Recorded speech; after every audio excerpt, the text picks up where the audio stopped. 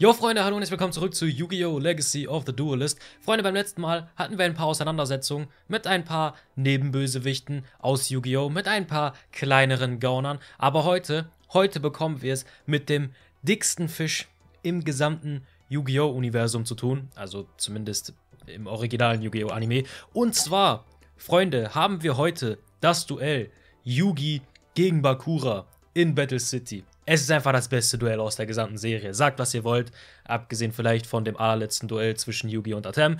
Aber dieses Duell, es ist einfach, es ist absolute Legende, okay? Schaut euch auf jeden Fall mein dümmste Duelle-Video dazu an. Ich kann, ich kann nicht genug über dieses Duell sagen, okay? So unlogisch es an manchen Stellen auch gewesen ist, es war mega cool. Und das werden wir jetzt auf jeden Fall spielen. Dafür aber ganz kurz eine Sache. Und zwar, mir ist aufgefallen, Ihr scheint es irgendwie zu mögen, wenn ich hier sitze und Yu-Gi-Oh! Legacy of the Duelist spiele. Und das Ganze ist relativ leicht zu produzieren, sage ich mal. Also es ist wirklich nicht schwierig, sich hinzusetzen und ein Spiel zu spielen. Das, äh, das kann man gut in den Zeitplan mit einbinden. Ähm, und ich mache das Ganze nur einmal die Woche. Ich hatte also den Gedanken, Legacy of the Duelist auf zweimal die Woche aufzustocken. Äh, ja, lasst mich auf jeden Fall in den Kommentaren wissen, was ihr davon halten würdet. Ich würde das dann so machen.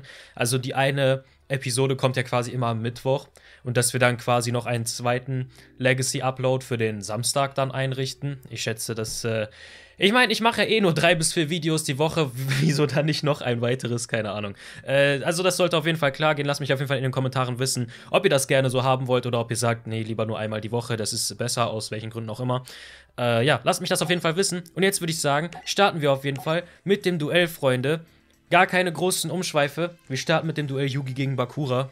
Und, äh, ich bin auf, ich bin auf jeden Fall auf, ich bin auf jeden Fall auf die Story Decks gespannt, okay? Ich bin gespannt, ob sie hier die Decks genauso wie im Anime gemacht haben oder ob hier Bakura wieder irgendwas dazu bekommen hat, was eigentlich gar nicht da gewesen ist. Aber dieses Deck von Yugi sieht auf jeden Fall schon mal sehr anime-getreu aus, sage ich mal. Und äh, ich habe wieder den Fehler gemacht, anzufangen. Obwohl ich das eigentlich nicht will, aber egal. Äh, wir haben fünf Karten gezogen, mit denen wir absolut nichts anfangen können. Äh, ja, Bakura ist am Zug. Mal schauen, was er als. Oh mein Gott, er spielt als erstes Geheimnis des Porträts. Das ist einfach genau wie im Anime. da hat er auch als erstes Geheimnis des Porträts gespielt. Jetzt müsste ich Gazelle ziehen, das würde passen. Das, das wäre einfach optimal. Und? Ja, nicht ganz okay. Äh, ich setze einfach mal magische Hüte. Ich meine, äh, ich kann damit gerade sowieso noch nichts tun, aber... Ja, egal. Was soll ich damit auf der Hand, ne? Mal schauen, was er noch macht. Er spielt ein Monster verdeckt, okay. Und äh, er greift nicht an. Sekunde mal, er greift, er greift nicht mit seinem Geheimnis des Porträts an. Wahrscheinlich jetzt, weil ich eine verdeckte Karte habe, macht die ihm so sehr Angst. Aber er dreht es auch nicht in Death. Er lässt es im Angriffsmodus. Das ist ziemlich anime-getreu. Das ist einfach, ich meine, es ist genau so im Anime gewesen. Da hat Bakura seine Monster aus irgendeinem Grund auch im Angriffsmodus gelassen, obwohl seine Taktik auch funktioniert hätte, wenn er sie einfach in Death gedreht hätte. Irgendjemand hat in die Kommentare geschrieben, dass wohl im Manga es so gewesen ist, dass die Monster von Bakura im Angriffsmodus zerstört werden müssen, damit der Effekt äh, seiner, beziehungsweise die Beschwörungsbedingung seiner finsteren Todesangst funktioniert. Falls es so ist, dann äh, nehme ich meine Aussage, dass das Ganze unlogisch im Anime gewesen ist, doch nicht zurück, denn das wurde im Dub nicht erklärt. Also, Schande über euch. Deutsches Synchronstudio. ja, wie auch immer. Äh, wir haben den wilden Kobold gezogen. Ich habe jetzt die Möglichkeit, entweder den zu beschwören und zwei Monster auf dem Feld zu haben oder das Ding hier zu opfern für schwarzes Magiermädchen, was ich mit Zauberformel ausrüsten könnte, welche im Gegensatz zum Anime 700 Angriffspunkte und nicht 500 Angriffspunkte dazu gibt. Aber ich glaube, ich spiele erstmal wilder Kobold. Erstmal ein paar Monster aufs Feld kriegen. Es kann gerade sowieso keiner von uns beiden angreifen, von daher geht das auf jeden Fall klar. Also ich kann natürlich auch mit Wiedergeburt sein Geheimnis des Porträts zurückholen, aber die will ich mir für später aufheben. Er spielt zu viele Monster verdeckt. Oh, okay, er, spiel, er spielt Sangan. Was ihm jetzt ehrlich gesagt nichts gebracht hat, aber okay, ich meine, er kann ja selbst nicht angreifen. Also, sonst könnte er vielleicht in eins meiner Monster rennen und sich was suchen, aber naja. Äh, wir haben Gazelle, König der mystischen Bestien. Sorry, der, der mythischen Bestien. Aus irgendeinem Grund heißt er im Anime König der mystischen Bestien und im Kartenspiel König der mythischen Bestien. Ich meine, das ist nicht mein Problem. Äh, ich wünschte, wir hätten statt Alpha den Magnetkrieger Gamma den Magnetkrieger, denn Yugi hatte auch im Anime Gazelle und Gamma den Magnetkrieger auf dem Feld. Ihr merkt schon, im Gegensatz zu den ganzen anderen Duellen, die wir bisher hatten, kenne ich mich mit diesem Duell ziemlich gut aus, okay? Ich habe es bestimmt zehnmal oder so gesehen. Also ich, ich habe es wirklich sehr, sehr oft gesehen, äh, weil es einfach eins meiner Lieblingsduelle ist. Äh, ja, aber das ändert nichts an der Tatsache, dass ich in diesem Zug nicht angreifen konnte. Also komm schon, ich, ich bin gespannt. Ich bin gespannt, was er macht. Müsste er nicht mal langsam irgendwie Schicksalstafel ziehen oder so? Äh, oder irgendetwas, was ihm irgendwas bringt. Wozu hat er gerade Sangan geflippt und hat ihn jetzt einfach in Dev gedreht? So, das macht halt einfach gar keinen Sinn. Aber, na gut. Okay, was machen wir jetzt? Er dürfte einige schwache Monster haben. Er müsste Erdgeist haben, der 2000 Def hat, also die Gefahr besteht, dass ich da reinrenne und ihn nicht zerstören kann, aber ansonsten dürfte er. Ich glaube, dieser grausame Geist der geflohenen Träume hat 1800 Def. Kopfloser Ritter hat auch 1700 Def, glaube ich. Okay, seine Monster haben relativ hohe Def. Ähm, das bedeutet, ich sollte vielleicht eine Tributbeschwörung machen, weil die Wahrscheinlichkeit ziemlich hoch ist, dass ich über mindestens eins seiner Monster nicht drüber komme.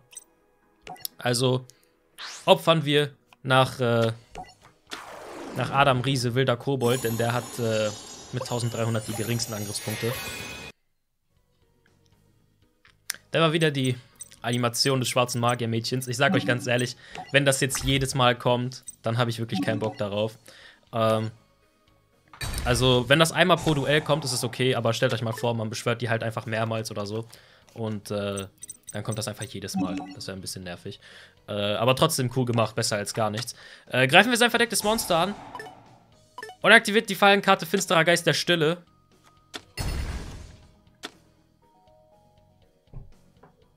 Was genau hat das jetzt gebracht? Was, was genau hat das jetzt gemacht? Ich meine, es war Jogan der Spiritist. Absolutes Spellbook-Staple. Also, ich meine, ihr müsst euch vorstellen, Jogan ist einfach eine Karte, die sowohl in meinem Lieblingsdeck als auch in meinem liebsten Duell vorkommt. Also Jogan ist einfach eine der besten Karten im gesamten Spiel, okay? Obwohl die so gut wie niemand kennt. Aber was hat es ihm jetzt gebracht, äh, dass ich statt mit Gazelle mit Alpha angreife? Denn äh, der hat auch einfach jetzt das Monster zerstört. Also ist halt egal. Reden wir nicht drüber. KI ist manchmal ein bisschen random in diesem Spiel. Und genau das ist, was ich meine. Erdgeister 2000 Dev. Hätte ich mal schwarzes Magiermädchen mit Zauberformel ausgerüstet, habe ich vergessen. Ich sollte nicht so viel reden und mich mehr konzentrieren. Uh, by the way, einige Leute haben mich so in den Kommentaren drauf angesprochen, so, yo, du hättest den und den Zug machen können und das war eigentlich nicht so schlau und uh, du hättest es lieber so und so machen können, du hättest viel früher gewinnen können und so.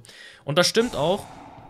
Also ich mache äh, durchaus einige Fehler hier, äh, wenn, ich, wenn ich hier spiele. Es liegt aber auch daran, dass ich mich schwer darauf konzentrieren kann, sowohl äh, zu sprechen, also unterhaltsam zu sein und äh, gleichzeitig auch zu spielen.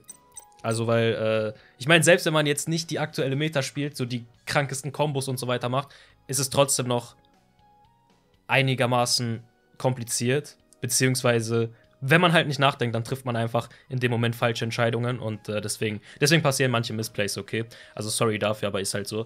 Äh, das Ding, wenn es als Normalbeschwörung beschworen wird, dann äh, kann er ein Monster wählen und das wird nach der dritten Standby-Phase der Aktivierung des Effekts zerstört. Okay. Und er kann nicht durch Kampf zerstört werden, solange jetzt quasi das schwarze Magiermädchen auf dem Feld liegt. Ich meine, okay, aber. Äh. Tja, also ich schätze, ich opfere dann einfach das schwarze Magiermädchen für, äh, für Buster Blader. Also, ich schätze, das macht Sinn. Äh, und dann holen wir sie einfach mit Wiedergeburt zurück.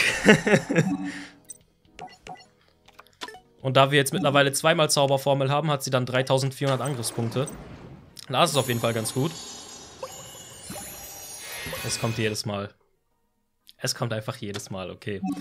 Äh, naja. Also solange wir im Story-Modus spielen, dürfte es keine Karte geben, die wir jetzt irgendwie fünfmal pro Zug beschwören oder so. Von daher ist es schon okay. Ich meine, es ist ja nicht so, dass es jetzt irgendwie irgendwelche kranken, unfairen Loops gibt oder so, ne? Deswegen dürfte das äh, kein Problem sein. Äh, jetzt müsste ich das Ding eigentlich zerstören können, weil schwarzes Magiermädchen hat ja zeitweise das Feld verlassen. Also, greif sein, greif sein Ding an. Okay. Äh, Buster Blader greift den Erdgeist an. Und äh, du das verdeckte Monster. Was noch ein weiterer Erdgeist ist, lol. Äh, okay. Wir dürften dieses Duell so gut wie in der Tasche haben, es sei denn, er hat jetzt irgendwie so ein random Raigeki oder Schwarzes Loch oder Spiegelkraft oder so. Das wäre, das wäre nervig. Aber das dürfte nicht passieren. Er spielt nur Monster verdeckt, okay. Ich finde es ein bisschen schade, dass er nicht Schicksalstafel gezogen hat oder die finstere Zuflucht. Das hätte es vielleicht ein bisschen interessanter gemacht. Aber ich meine, na gut. Ähm. Hm. Ich überlege gerade, ob mystische Box Sinn macht, aber nein, macht es nicht. Also klar, ich könnte halt sein verdecktes Monster zerstören. Aber solange das jetzt kein... Keine Ahnung, keine Cyberdose oder so ist, dürfte mir das nicht großartig schaden. Äh, also greifen wir das einfach mal an. Okay, es war der... Es war der grausame Geist entflohener Träume. Und dann schwarzes Magiermädchen mit 3400 Angriffspunkten und dann mit äh, Gazelle mit 1500. Also, dieses Duell dürfte entschieden sein. Gehe ich jetzt einfach mal stark von aus. Man muss tatsächlich sagen, dass Bakuras Deck, solange er nicht die finstere Todesangst zieht, wirklich äh, gar nicht so, also wirklich gar nicht so gut ist, um ehrlich zu sein. Äh, ja. Äh, ich würde sagen, greife mit Buster Blade an. Das müsste reichen, um sein verdecktes Monster zu zerstören. Es ist einfach der dritte Erdgeist. Imagine, ich hätte jetzt nicht die beiden Tributmonster gehabt, ich wäre nicht über das Ding drüber gekommen und er hätte es einfach dreimal gehabt mit 2000 Death. Äh, 3400 Angriffspunkte, das reicht genau, um seine Lebenspunkte auf Null zu bringen. Und äh, wir haben es geschafft. Wir haben Bakura besiegt, Freunde. Das ging, das ging schneller, als ich es erwartet hätte, um ehrlich zu sein. Äh, ich dachte, das, ich dachte, das würde krasser werden, aber ich meine, immerhin, okay. Ich meine, äh, wir haben wir es geschafft. Äh, das Erwachen des Bösen, Joey gegen Odeon. Beziehungsweise zu dem Zeitpunkt glauben noch alle, er sei Marik. Äh, das, nächste, äh, das nächste Duell müsste dann aber der richtige Marik sein gegen Mai. Lol, ist es nicht? Hä? Kam, kam das nach dem Duell von Kaiba und Ishizu, oder? Hä? Wieso fehlt das denn?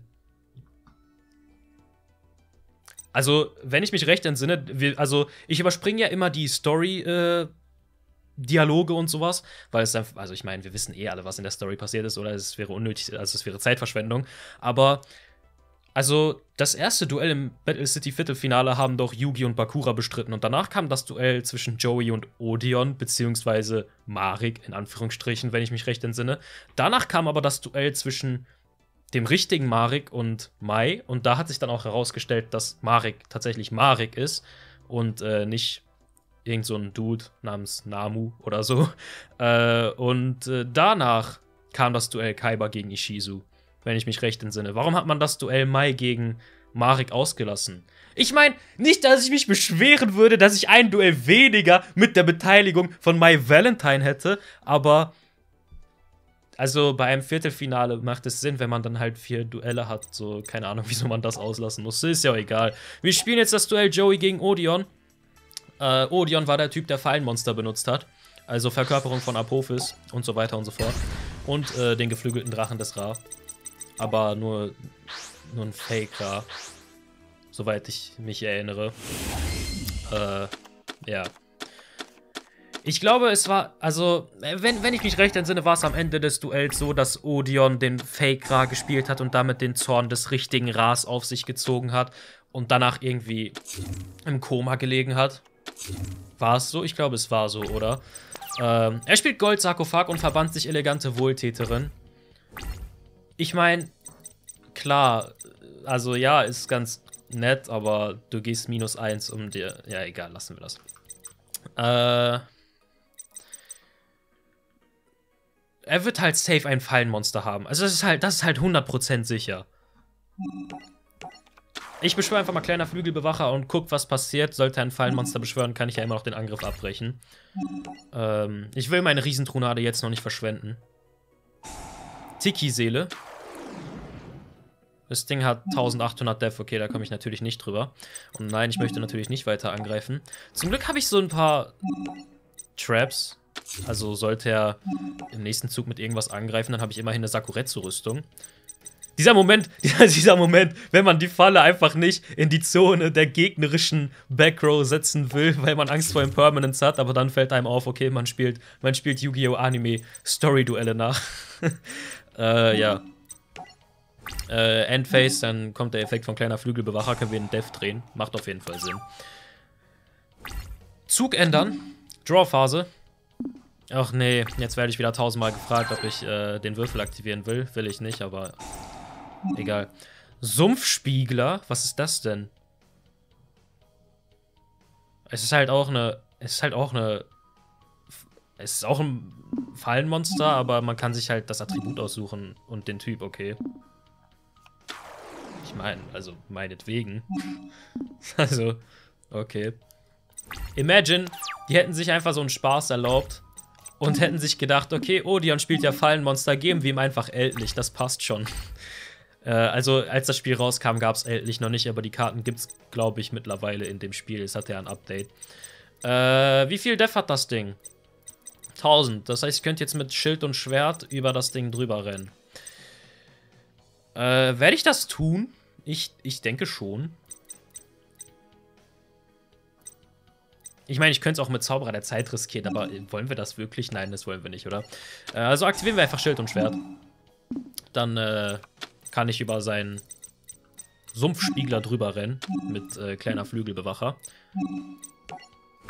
Und äh, Kleiner Flügelbewacher hat für den Story-Modus einen ganz okayen Effekt, wie ich finde, weil du kannst halt angreifen und danach dreht er sich halt in Death und Dadurch hast du halt ein bisschen mehr Schutz.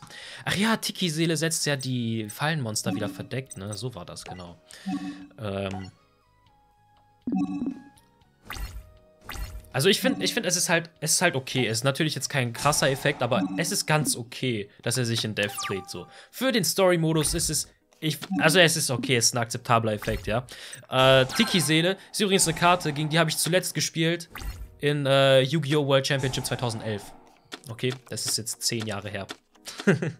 also das Spiel habe ich zuletzt äh, vor, also jetzt nicht vor zehn Jahren gespielt, aber zu der Zeit habe ich das Spiel am meisten gespielt. Ähm, Tempel der Könige sagt, er kann eine Fallenkarte in dem Zug aktivieren, in dem sie gesetzt wurde. Ich glaube, mit dem alten Effekt konnte man so viele Fallenkarten, wie man will, aktivieren. In dem Zug, in dem sie gesetzt wurden. Also, wenn, wenn ich mich recht entsinne.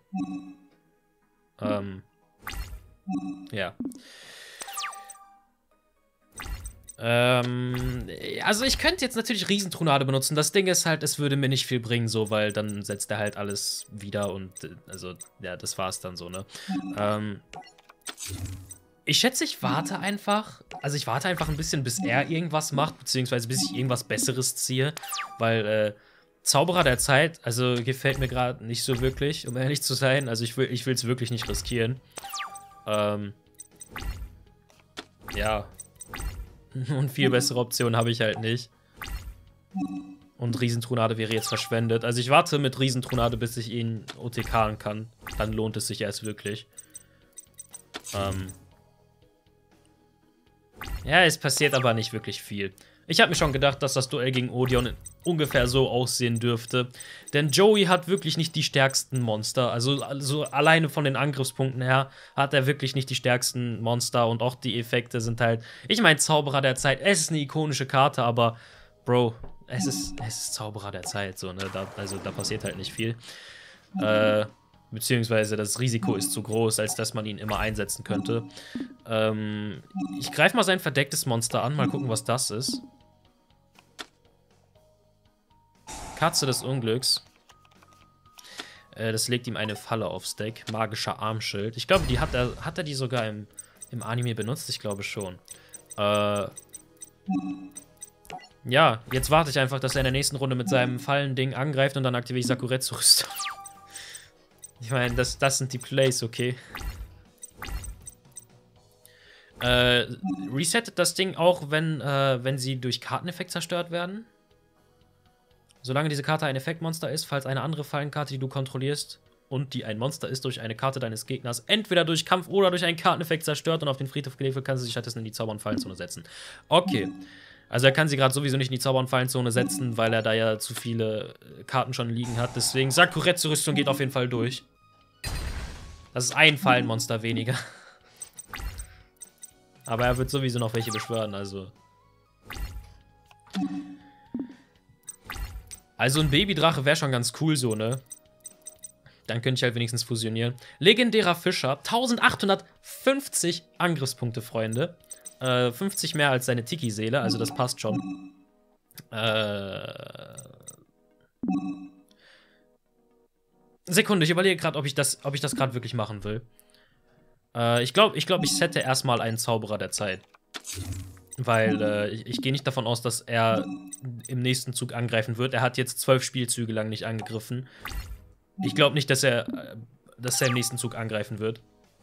Und dann opfer ich einfach den Zauberer der Zeit, weil die anderen beiden Monster sind gerade wertvoller. Äh, ja. Also ich glaube, ihr könnt das nicht sehen, weil meine Facecam da drüber ist, aber ich kann sehen, wie viele Spielzüge wir schon gespielt haben, also wundert euch nicht deswegen. Ähm, ja, okay. Wie ich es mir gedacht habe. Also opfern wir den Zauberer der Zeit für legendärer Fischer.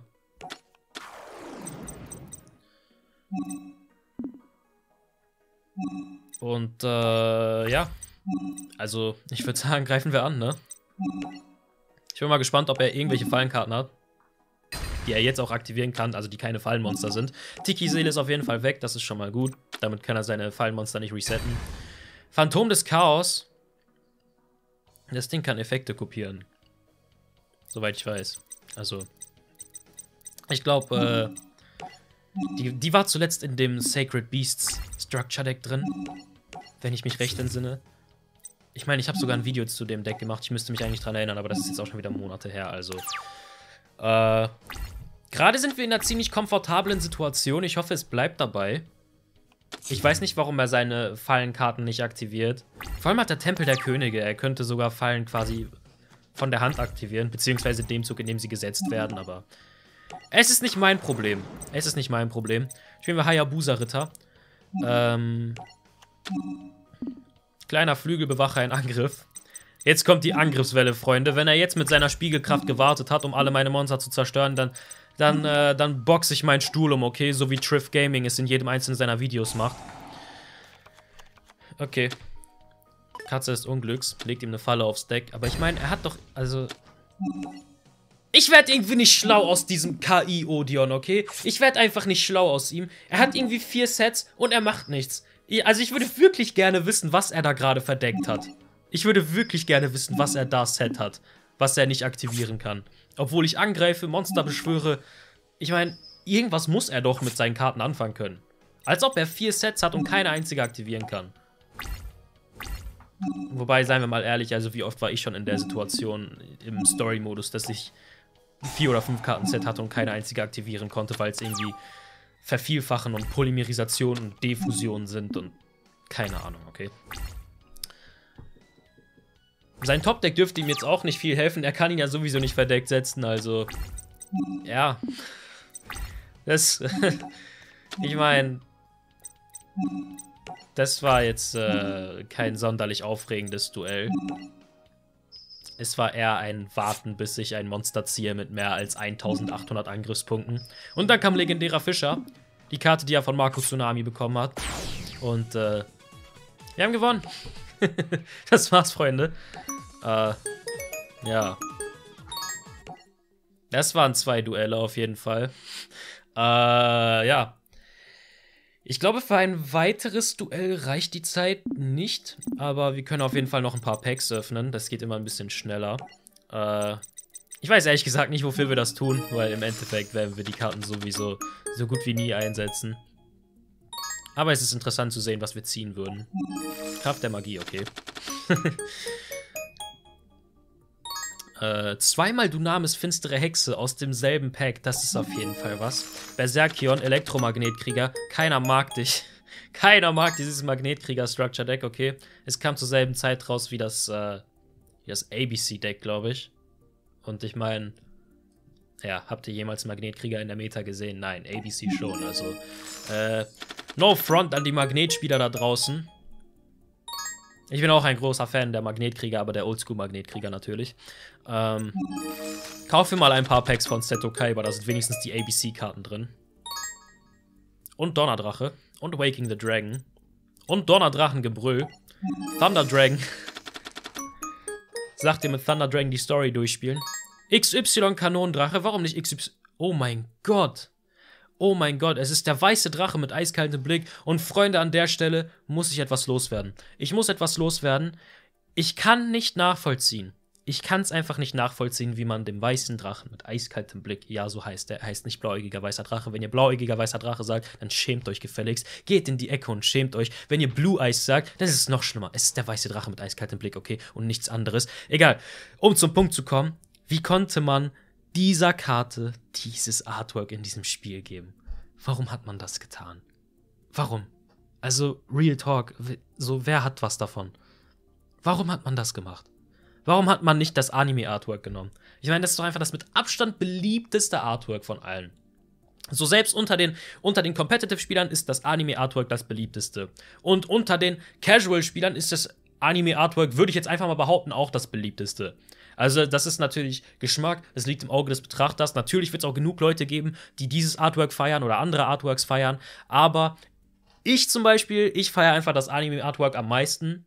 Also, das, äh, wo der weiße Drache gefühlt aussieht wie so ein Baby. Und äh, so, ich bin mir sicher, dass die meisten Spieler das genauso sehen. Warum hat man das? Vergessen wir es, okay? Äh, ich habe nämlich herausgefunden, dass man äh, von jeder Karte in diesem Spiel nur ein Artwork haben kann. Also es ist nur ein Artwork einprogrammiert. Und da frage ich mich, warum man nicht die oldschool originalen Artworks benutzt hat. Vor allem, Digga, es gab halt Yu-Gi-Oh! Spiele im Jahr 2007 oder so, wo es einfach die unterschiedlichen Artworks der Karten gab. Und hier in diesem Spiel, so welches wir jetzt im Jahre 2021 spielen, da gibt's das nicht. So, ihr könnt mir doch nicht erzählen, dass ihr nicht die Kapazität hattet, das mit einzuprogrammieren. Es wäre kein Problem gewesen, okay? Äh, ja. Ähm. Thunder Dragon Dark, Spiegelkraftdrache. Okay, ich würde sagen, belassen wir es dabei, Freunde. Das war's mit der heutigen Episode von Legacy of the Duelist. Lasst mich auf jeden Fall wissen, ob ihr jede Woche zwei Teile davon sehen wollt oder ob ihr sagt, ich bin mit einem zufrieden. In dem Sinne, Freunde, falls euch das Video gefallen hat, dann aktiviert eure Gerätezauberkarte, den Daumen nach oben und ich würde sagen, wir sehen uns dann beim nächsten Mal.